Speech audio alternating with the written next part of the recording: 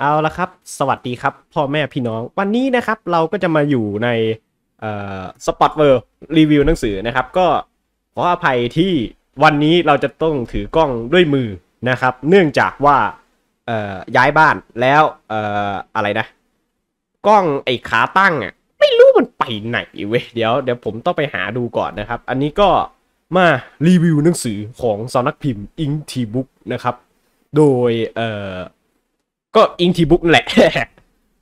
เรื่องผนึกสวรรค์สยบมารสถานเทพนะครับ ก็ปัจจุบันก็จะมีอยู่ 8 เล่มนะ ตีพิมพ์มา 8 เล่ม แต่ว่าเดี๋ยวมันก็จะมีเล่ม 9 แล้ว โอ้โห เสียดายเว้ยหนังสือยับว่ะแม่หน้าปกยับนิดนึงอะไม่เป็นไร โอ้ยเดี๋ยวล่วงไปอีกกูอะก็สำหรับเรื่องนี้ครับผนึกสวรรค์สยบมารสถานเทพ ผมไม่แน่ใจว่ามันเป็นเรื่องเอกของ สำนักพิมพ์นี้หรือเปล่านะ เพราะว่าแต่ละสำนักพิมพ์มันก็จะมีเรื่องเอกเป็นของตัวเองนะครับ ถ้าเกิดว่าสำนักพิมพ์นั้นมันไม่ใช่สำนักพิมพ์ใหญ่อะไรนะ อันนี้ผมก็ไม่แน่ใจว่ามันเป็นเรื่องเอกของเขาหรือเปล่านะ ก็คือเป็นจุดขายของสำนักพิมพ์นี้หรือเปล่า อันนี้ไม่แน่ใจนะครับ ซึ่งเนื้อเรื่องผนึกสวรรค์สยบมารสถานเทพนะครับ เนื้อเรื่องคร่าวๆนะครับ มันก็จะเป็นเกี่ยวกับว่ามันมีไอไอหนุ่มคนหนึ่งเป็นบัณฑิต บัณฑิตสอบตก ก็คือสอบไม่ได้จองหยวนไม่ได้ซิลไซไม่ได้อะไรสักอย่างอะไรก็เรื่องของมันน่ะประมาณนั้น แล้วเผอิญเผอิญกำลังไปนั่งซึมเศร้าอยู่ ดันมีเอ่อเทพเซียนสาวมาจับตัวไปนะครับ จับตัวไปเป็นลูกศิษย์แล้วคราวนี้เหมือนกับว่าเอ่อพอไอ้พระเอกนี่มันเอาดีทางด้านการเป็นบัณฑิตไม่ได้มันเลย จะเอาดีทางด้านการเป็นเซียนแทนมันก็แบบฝึกฝึกฝึกฝึกฝึก ปรุงยาปรุงยาเก็บอาวุธนู่นนี่นั่นฝึกฝึกฝึกอะไรประมาณนี้ก็ไปเรื่อยๆก็เนื้อเรื่องก็จะเป็นประมาณนี้คร่าวๆประมาณนี้นะครับก็คือพระเอกก็พยายามฝึกให้มันเก่งนั่นแหละนนี่คือเป้าหมายคร่าวๆนะครับระหว่างทางก็จะไปเจอแบบนึ่งนู่นนี่นั่นอาทิเช่นสำนักล่มบ้าง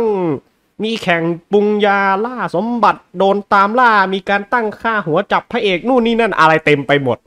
นะครับเนื้อเรื่องมันก็จะเป็นประมาณนี้ครับ ซึ่งเอ่อ สเกลเรื่องนี้นะครับ ผมพูดจริงๆว่าสเกลมันใหญ่นะถ้าคุณคิดว่าคุณอ่านไอ้พวกเมาหนีหรืออะไรที่ว่ามันใหญ่แล้วเนี่ยไอ้นี่มันใหญ่เข้าไปอีกครับ ใหญ่ยิ่งแบบ โอ้โหแบบ อือออย่างนี้เลยอะแบบใหญ่โคตรๆและพลังนี่ ในเรื่องนี่แบบผมคิดว่าไอ้นี่มันต้อง over นะมันมี over กว่านี้อีกเรื่อยๆอะแบบ ไอ้เรื่องเมาหนีหรืออ่าอะไรอะไอ้ เทียนฉานถู่โต้วอะที่มันเป็นสัประยุทธ์ทะลุฟ้านะพูดจริงนะสเกลพลังยังไม่สู้เรื่องนี้เลยแบบโอ้โห มันเวอร์วังอลังการจริงๆนะครับ พลัง แต่ว่า เรื่องส่วนทางด้านเนื้อเรื่องเนี่ยส่วนตัวผมนะ ผมว่าการดำเนินเนื้อเรื่องนี่มันค่อนข้างที่จะเร็ว และมันแบบกระชับอะเหมือนมันรู้ใจคนดูอะซึ่งผมนี่ผมเป็นคนที่ชอบอ่านแบบ เข้าเรื่องเร็วเลย ผมไม่ชอบแบบว่า เอ้ยฉากนี้พระเอกมันฝึกอยู่ใต้น้ำตกนะกำลังฝึกฟันดาบหลบกระสุนเอ้ยหลบดาบหลบท่อนซุงอะไรประมาณนี้ อย่างที่เออไอสัพยุทธทะลุฟ้ามันทำนี่ ผมไม่ได้ชอบแบบนั้นนะ เพราะว่าไอ้ไอ้สัพยุทธทะลุฟ้านี่พูดจริงๆนะมันบรรยายไอมันสนุกก็จริงอะแต่ว่ามันบรรยายไอพวกนี้ถ้าเป็นฉากน่าเบื่อเลยผมก็คือไม่ไม่ไม่ค่อยจะสนใจฉากพระเอกฝึกอะแต่อันนี่บอกไอ้นี่มาแบบนิ่มๆครับ บอกว่าพระเอก อ่าฝึกปุ๊บ ฝึกนิดหน่อย แบบพูดเออไม่กี่บรรทัดอะแล้วมันก็เสร็จปุ๊บแล้วก็ทำแบบเนี้ยเลื่อนขั้นฮะเลื่อนขั้นแล้วเหรอแล้วก็ไปตุ้มตุ้มตุ้มไปสู้สู้สู้สู้กันประมาณนี้นะครับ ก็คือแบบมันจะไม่ค่อยบรรยายฉากฝึกแบบละเอียดถึงขนาดเป็นสัพพยุทธทะลุฟ้านะผมพูดอย่างนี้ดีกว่านะ ก็มันก็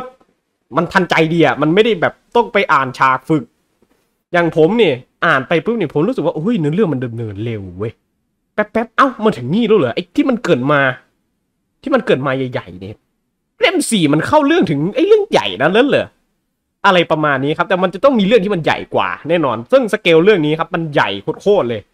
สี่สิบเล่มจบนะครับ เห็นเขาเกิดมาบอกว่าสี่สิบเล่มจบนะครับ ภายในห้าปีก็ อันนี้ก็เพิ่งเล่มแปดเองปีที่สามแล้วเพิ่งเข้าเล่มแปดโอ้โห แบบตอนนั้นพิมพ์ก็ช้ามากก็จะมีปัญหาด้านนักแปลบ้าง ผมก็คุยกับเขาอยู่เรื่อยๆนะครับสอบถามเขาอยู่เรื่อยๆ บอกเอามีปัญหาด้านนักแปลนะครับ แต่ช่วงนี้นักแปลเร็วหน่อยก็อาจจะออกทีๆกันหน่อย แต่ก็จะพยายามให้มันนี่ก็ให้กำลังใจเขาไปนะครับ ด้านเนื้อเรื่อง อ่า ผมบอกไปแล้ว เร็วรวดเร็วทันใจ ฉากต่อสู้นี่เอ่อฉากต่อสู้นะครับ หนังจีนยุคใหม่ คุณต้อง ผมแนะนำนะ อ่านช้าๆอ่านช้าๆแล้วจะรู้ว่ามันทำอะไรกัน ถ้าเกิดคุณอ่านเร็วๆนะเฮ้ยมันทำอะไรแต่มันรู้อยู่ว่าใครชนะ แต่ว่ามันเฮ้ยแต่ว่ามันเร็วจริง ๆ เว้ยแบบฟึบๆเลย แต่เรื่องนี้นะครับ มีข้อเสียอย่างหนึ่งที่ถ้าที่อ่านมาผมยังไม่เจอนะ หรือว่าใครเจอแล้วนะครับ ก็คือเรื่องนี้อันที่จริงเรื่องนี้เนี่ยมันเป็นนิยายแปลในเว็บนะครับ เว็บ Fictionlog Fictionlog เออนั่นแหละ ซึ่งก็เป็นของสำนักพิมพ์อิงทีบุ๊กเนี่ยไอเจ้าเดิมเนี่ย มันจัดจำหน่ายในเอ่อเว็บนะครับ แต่ว่าไอ้นั่นเนี่ยผมไม่ได้ไปแตะเลยนะ ไม่เคยแตะเข้าไปอ่านเลย ว่าไอ้มันแปลสำนวนมันเหมือนกันหรือเปล่า อันนี้ผมไม่แน่ใจนะ ใครที่อ่านทั้งในเว็บและอ่านทั้งในหนังสือนี่ ก็ช่วยรบกวนให้ความรู้ผมด้วยนะว่ามันเหมือนกันหรือเปล่า อันนี้ผมไม่แน่ใจเหมือนกันนะครับ แล้วก็ในเว็บนี่มันแปลจบไปพี่เรียบร้อยแล้วนะก็ยาวครับยาวสเกลเห็นเขาอ่านสปอยมานี่ตอนจบนี่ โอ้โห มันทะลุจักรวาลเลยนะ ทะลุนี่ทะลุจริงๆนะทะลุจักรวาลเลยนะ แต่ก็ผมก็จะรอดูต่อไปนะครับ ผมก็จะไม่อ่านในเว็บนะ เนื่องจากว่าผมไม่ค่อยชอบอ่านนิยายในเว็บนะครับ อ่านแบบนี้มันหนุกกว่า อ่านที่เป็นหนังสือนะครับ อะ ทางด้านเนื้อเรื่องนะครับ ก็น่าจะเป็นประมาณเนี้ย มีช็อตหน้าเบื่อไหมช็อตหน้าเบื่อของผมนี่ มันจะเป็นประเภทแบบว่า ไอ้พระเอกเนี่ยมัน ไปแบบเก็บตัวฝึกอะไรพวกนี้นี่คือช็อตหน้าเบื่อสำหรับผมนะครับ แต่ใครจะจะใครบางคนอาจจะชอบก็ได้แบบชะชอบไอ้พระเอกฝึกจะเก่งยังไงนู่นนี่นั่น แต่ว่าไอ้ช่วงฝึกของเรื่องนี้เนี่ยมันมันค่อนข้างแป๊บเดียวครับ อย่างเก่งก็บทหนึ่งอะอะอย่างเก่งกับบทหนึ่งมันไม่ได้เหมือนกับไอ้บางเรื่องที่มันโอ้โหปาไปสองสามบทมึงก็ยังฝึกไม่จบสักที ก็โอ้แต่บทหนึ่งนี่ยาวนะ แบบตอนหนึ่งนี่ยาวมากเลยครับยี่สิบบางทีเกือบสี่สิบหน้าเนี่ย ตอนบทหนึ่งนี่โคตรยาวเลย และละเอียดมากนะ แล้วก็อีกอย่างหนึ่งเออ อันนี้ชมเลย อันนี้เป็นเรื่องชมของทางสำนักพิมพ์เลย บอกว่าถ้าไม่นับเรื่องออกช้านะนะเออ ก็คือการทำหน้าปกกับเอ่อสีของกระดาษหรือคุณภาพกระดาษนี่ชนะไอ้พวกไอ้อะไรวะไอ้พวกสำนักพิมพ์ใหญ่ๆนี่หมดเลยนะ แบบว่า สำนักพิมพ์ใหญ่ๆอะสู้การทำหนังสือของสำนักพิมพ์นี้ไม่ได้เลย ผมกล้าพูดเลยกล้าพูดณตอนนี้ณตรงนี้เลย ผมบอกว่าทั้งคุณภาพกระดาษกับเอ่อคุณภาพกระดาษเนี่ยผมไม่ได้มีความรู้อะไรมากนะ แต่ผมดูรู้สึกว่ามันดูแล้วปุ๊บมันดูสลัวและมันดูสวยอะ่ะเออ บุกเข้ากับหน้าปกและสีของหนังสือดีนะครับ ก็อันนี้ชมทางสนักพิมพ์เลยนะครับ ว่าถ้าเกิดสมมุติว่ามันมีประกวด หนังสือสวย ผมว่าไอ้เรื่องนี้ผมให้อันดับหนึ่งเลยหนังสือนิยายสวยเนี่ยทั้งหน้าปกทั้งอะไรเนี่ยมันออกแบบได้ เออ มันดีเว้ยแต่ผมไม่ชอบนะไอ้พวกแบบออกแบบหน้าปกแบบเอาซะแบบพระเอกหน้าขาวๆใส่แต่งตัวที่มันเอาแบบเหมือนวาดเอาใจผู้หญิงเนี่ยอันนั้นผมไม่ค่อยชอบเท่าไหร่ผมชอบแบบเรียบๆแล้วมันก็แบบดูทรงพลังอ่า นี่หน้าปกดูโอ้โหสวยจริง ๆ นะ ถ้าเกิดคุณซื้อมาคุณก็จะได้ทั้งที่ขั้นหนังสือแล้วก็ โปสการ์ดที่มันแถมมาในนี้โปสการ์ดก็จะเป็นหน้าปกนี่แหละ ก็คือก็รูปหน้าปกนี่แหละและหน้าปกเนี่ยมันจะเป็นรูปแบบไม่ไม่ใช่รูปแบบมักง่ายอะ มันไม่ได้เหมือนบางสำนักพิมพ์ที่มันมักง่ายเกินอะ มันเป็นรูปที่มันเป็นเหตุการณ์ในเรื่องนะครับ อย่างไอ้เล่มแรกนี่ ที่ฉากเทพเทพเทพเซียนโดนจับนี่มันก็จะเป็นเอ่อไอ้พระเอกโดนเทพเซียนจับไปเนี่ยมันก็จะเป็นเหตุการณ์ในหน้าปกเลยนะ เดี๋ยวเดี๋ยวหน้าปกให้ดู เล่มหนึ่งโอ้ยเนาะนี่หน้าปกเล่มหนึ่งนี่ก็จะเป็นเหตุการณ์ในเรื่องเลยนะครับ ก็คือเขาเอาฉากในเรื่องอะ่ะแล้วก็มาทำหน้าปก ผมเชื่อว่าแอดมินหรือไอคนทำหน้าปกนี่ก็น่าจะได้อ่านหนังสืออ่านเนื้อเรื่องมาแล้วถึงมาทำหน้าปกนะครับ เพราะว่ามันจะมีบางเรื่องนี่ที่มันออกแบบหน้าปก มันไม่ไม่ตรง ไม่ตรงกันในเรื่องเลยก็ไม่รู้ว่ามันอ่านมาจริงหรือเปล่านะอะก็ติดอย่างเดียวครับก็คือมันออกช้าไปหน่อยแต่ส่วนเนื้อเรื่องนี่ ผมชอบเลยแบบโอ้โหดำเนินเนื้อเรื่องเร็วสู้ๆกัน เออแล้วก็มีข้อเสียอีกอย่างหนึ่งนะครับ ที่ผมอยากให้มีในเรื่องนี้ก็คือพระเอกมันจะไม่สู้กันระยะประชิดเท่าไหร่เว้ยก็รู้อะว่ามันมีแบบมีกระบี่ ขี่กระบี่ลอยฟ้า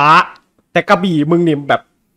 ก็เอาเหมือนกับกระบี่มาเป็นปืนกลนะแบบยิงตุ้มๆๆๆอย่างเงี้ยมันไม่ได้เอากระบี่มาฟาดฟันกันเนะไอการต่อสู้ระยะประชิดนี่ผมว่าไม่ค่อยจะมีเท่าไหร่นะแทบไม่เห็นเลย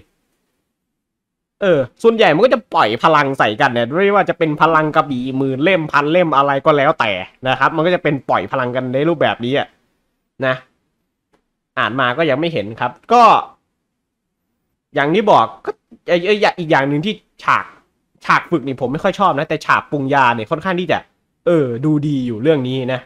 มันก็เร็วสู้สนุกนะครับ แต่ว่า ผมแนะนำว่าถ้าคุณจะอ่านเรื่องนี้นะ สติสตังเนี่ยต้องดีก่อนนะ ถ้าเกิดจะอ่านก่อนนอนและเอาให้มันรู้เรื่องเนี่ย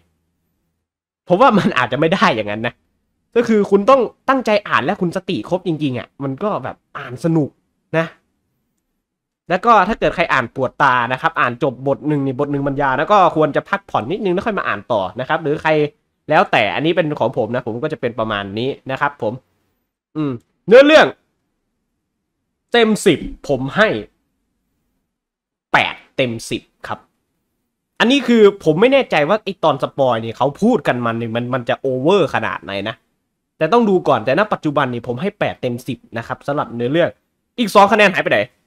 สองคะแนนมันก็จะเป็นหนึ่งอะคือมันไม่ได้มีแบบไอ้ที่ผมบอกไงก็คือ มันไม่ได้มีฉากต่อสู้ระยะประชิดและสองนะครับก็คือมันแบบเอ่อมันก็จะมีช่วงหน้าเบื่อไปตามหลักสูตรนะครับ แต่ว่า